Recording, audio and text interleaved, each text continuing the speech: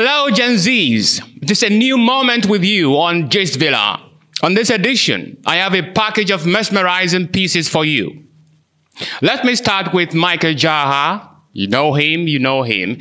Hope you still remember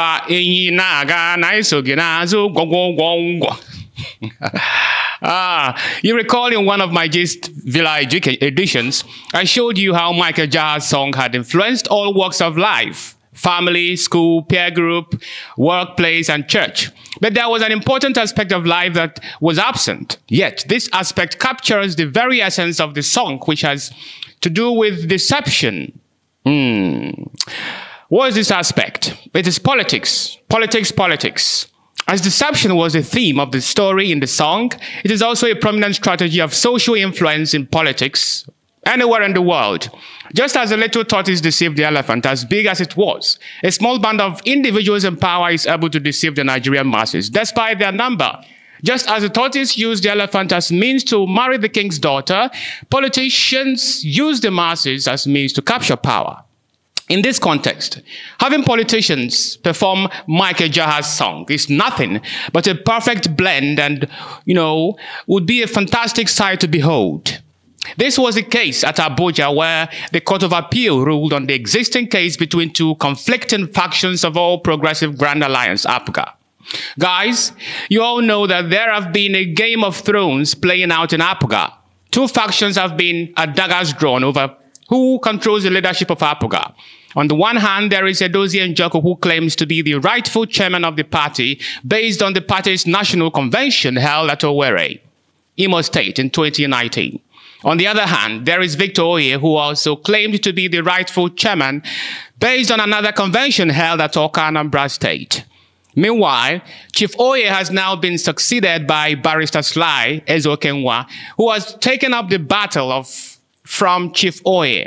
From 2019 till date, both parties have been locked in a dramatic legal battle from High Court to Court of Appeal to Supreme Court and then back to High Court. Guys, that's a long story. All I need you to know is how entertainment has been impacting on the political life. At the end of proceedings at the appeal court, Njoku-led faction were sighted singing and dancing the Gwogwogwongwa song in a scornful manner while Sly and his faction were scurrying off the complex. Have a look.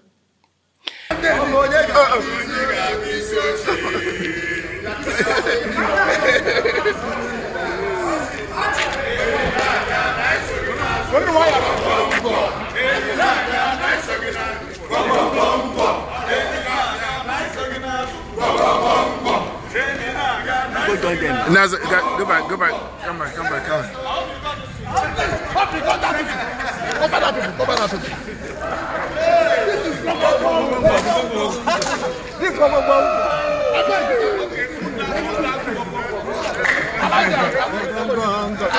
I agree to you, Cover that people for me. What's that? Remember, I said that. Yes. No. But we are going to.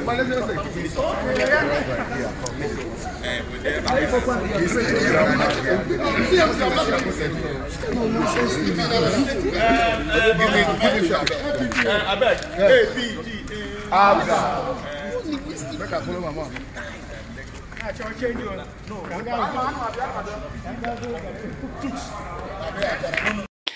Very sad indeed. In a different de development, Governor of Anambra State, Professor Charles Soludo, joined in the Michael Jazz dance at the 33rd anniversary of Anambra State. Let's watch.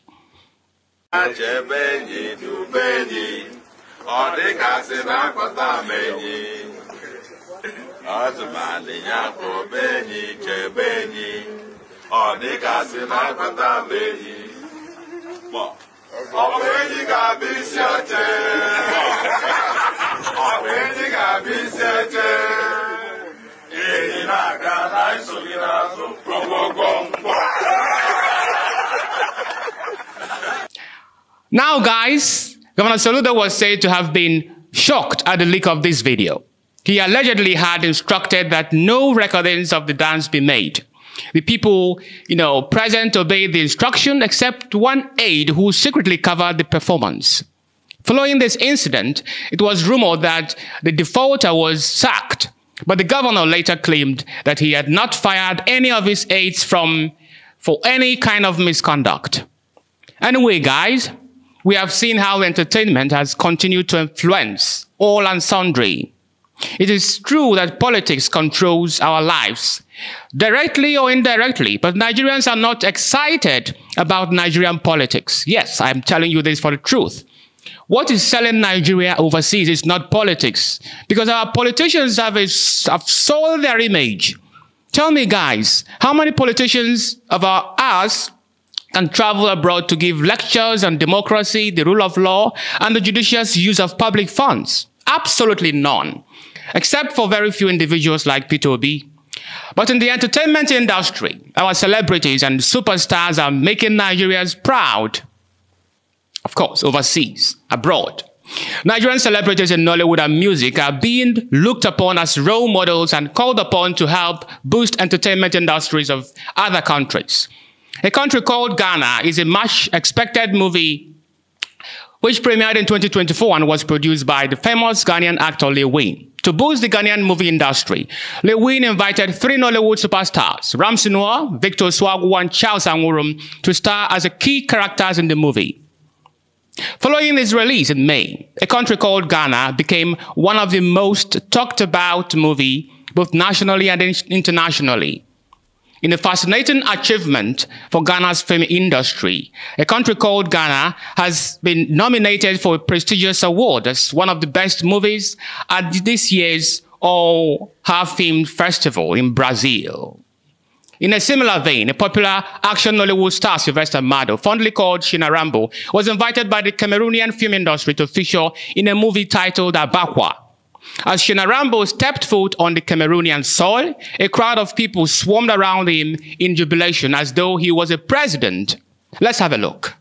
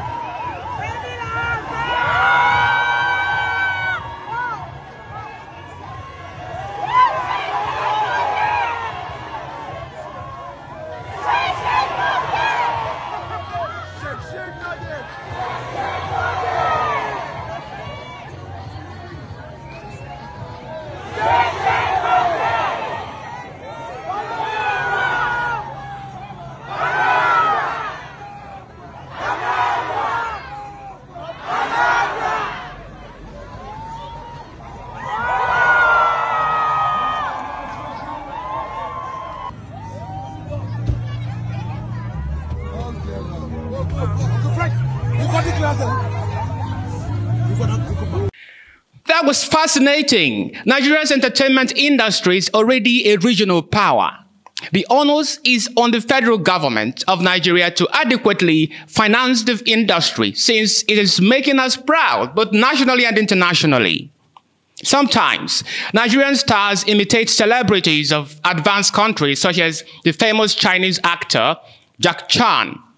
The General, a comedian and one of the best content creator, catapulted himself to fame after recreating Jack Chan's popular movie, Drunken Master. In the short film that went viral, the Nigerian skit maker styled himself as Jack Chan, fabulously imitating Jack Chan's stunts and martial arts. Let's enjoy, guys.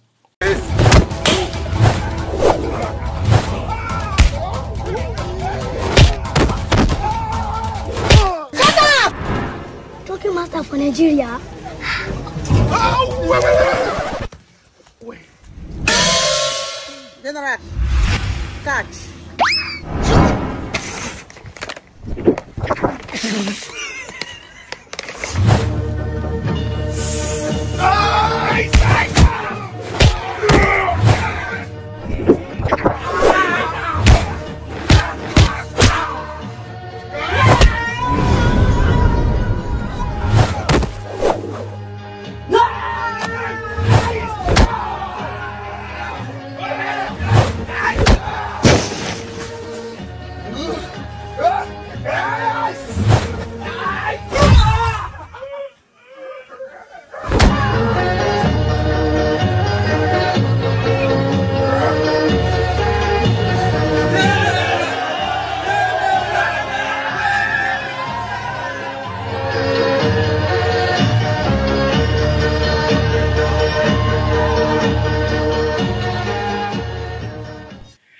That was engrossing, Engrousing. Nigeria is endowed with amazing talents coming from the entertainment industry. Nigeria should invest in entertainment so that the industry can complete its already begun quest to equal and eventually outclass that of developed countries. The growth of the industry, when put in place, could also yield revenue for the country for the construction of essential infrastructure. But this can only happen when the federal government invests in the industry, you know, by sponsoring the purchase of sophisticated or modern equipment of cinematography.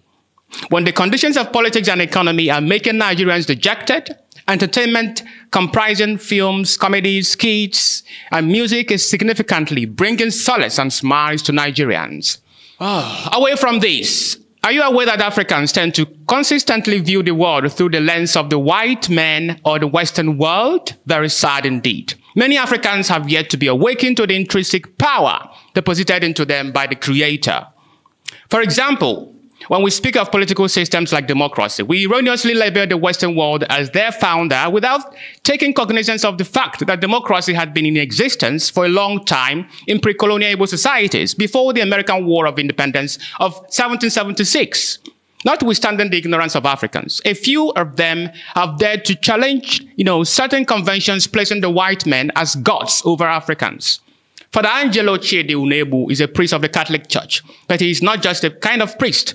Father Angelo is a critic, or if you like, an iconoclast who uses a painstaking historical exploration to inspire new insights as regards religions, cultural and political values. Father Angelo abhors the conventional practice by most Africans of depicting reality only from the perspective of the white man, while undermining the Afrocentric power of the black race. Recently, Father Angelo unveiled an Afro-styled Virgin Mary statue with distinct Igbo features created by his late cousin. This statue is now prominently displayed in front of Unegbu's chapel on Omueze, Okigwe in Imo State. Father Angelo encourages Africans to rethink their use of traditional European depictions of the Virgin Mary, arguing that these images are inaccurate and were created to resemble Europeans rather than the actual Virgin Mary. He believes that this has led to a distorted view of religious figures, causing Africans to, you know, mistakenly perceive Jesus and Mary as white.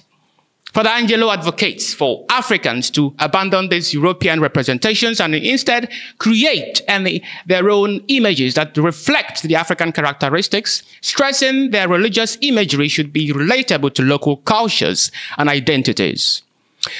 Uh, and finally, guys, do you know that what powerful influence religion can exert on politics? This happens mostly during elections, especially in African democracies like Nigeria.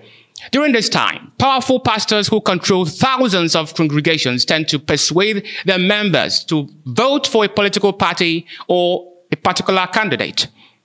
In the same vein, Islamic clerics instruct Muslims to support their Muslim brother who is contesting for political office. Even when a Muslim imam does this, it is usually tagged as indoctrination or Islamic extremism. But guys, I thought all these stuffs were peculiar to Africa. But I was wrong.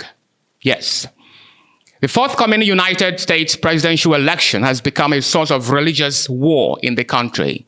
Now, guys, we have been talking about Islamic extremism without, you know, focusing or considering Christian extremism or indoctrination. Here is Greg Locke, a Tennessee pastor whose video clip is viral due to his inflammatory remarks against the Democrats. Pastor Greg warned huge members of East not to vote the Democrats, saying that those who would do so were not Christians, but demons. The pastor then threatened an insurrection, a rebellion, if the Democrats were to win. Wow. Watch this video. I'm to the place right now, if you vote Democrat, I don't even want you around this church. You can get out.